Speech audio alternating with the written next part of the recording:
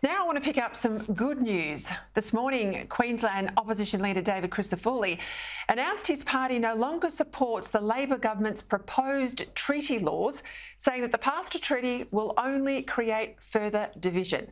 It appears Crisafulli, unlike those in the Albanese government and state Labor governments around the country, has read the room after Saturday's historic result.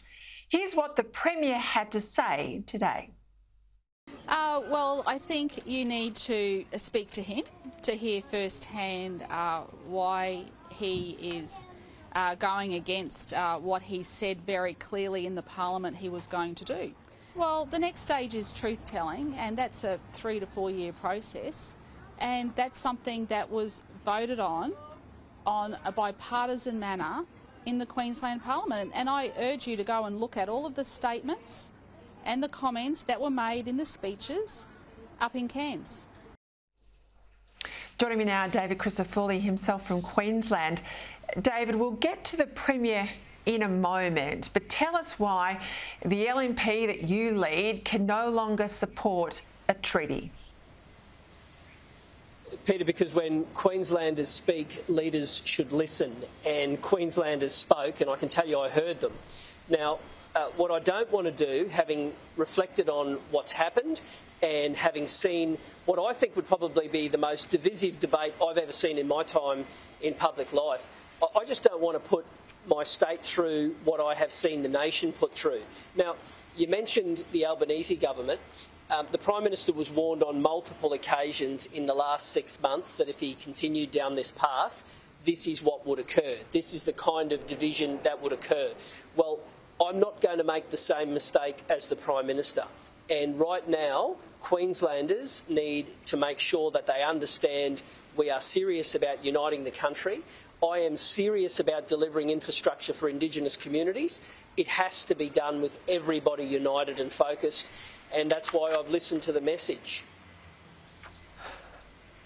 Um, I just want to say to David, as we go to air, there's late breaking news that there has been called uh, in Queensland uh, a snap meeting of the Labor caucus. I'm told the left faction are furious that she appears to be walking back the treaty commitment. Of course, she's trying to make the issue about you, but uh, the factions have dragged her in.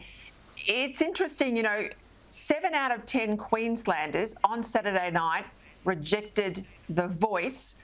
Who runs the state up there? Is it the Premier or the factions? I think you know the answer to that, and so do Queenslanders. It is a government, government driven by factions.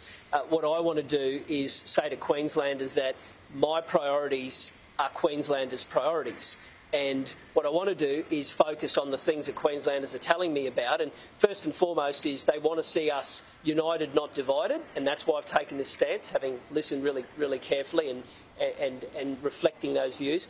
I also want Queenslanders to know that my laser-like focus won't change. Uh, I want to see an end to the youth crime crisis. I want to see an end to the housing crisis, the health crisis, and the cost of living crisis. All of those things are magnified here in Queensland because the government has been so racked with chaos and crisis, because there is the infighting, because there is that factional warlords. And what's going on in the caucus of the Labor Party has no interest for me. I want Queenslanders to know that my focus is on the things that matter to them and their families, and their priorities are my priorities.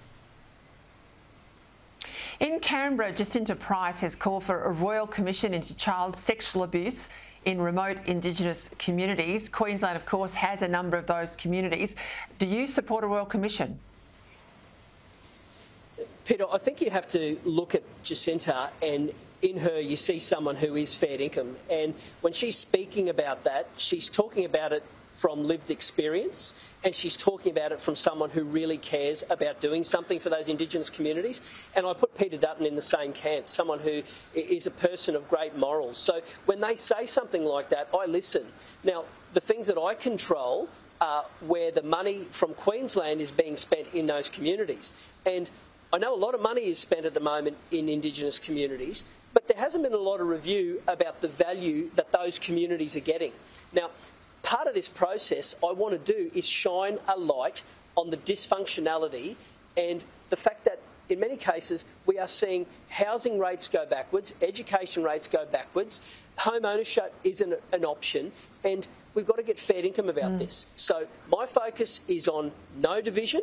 And this process would have delivered that. So uh, we're being really, really firm and saying uh, we're not going to make the same mistake as Mr Albanese. But I can tell you something we are not going to allow the unfettered expenditure from other groups that are coming into these communities and not delivering for the people on the ground. And I think that's what would unite all Queenslanders and all Australians to know that we are fair income about doing something in these remote communities. Well, I think you're on the side of 70% of Queenslanders uh, walking away from that treaty process. Uh, let's see what the factions tell the Premier to do when that meeting breaks up tonight. David Crisafulli, thank you. Thanks for your time, Peta.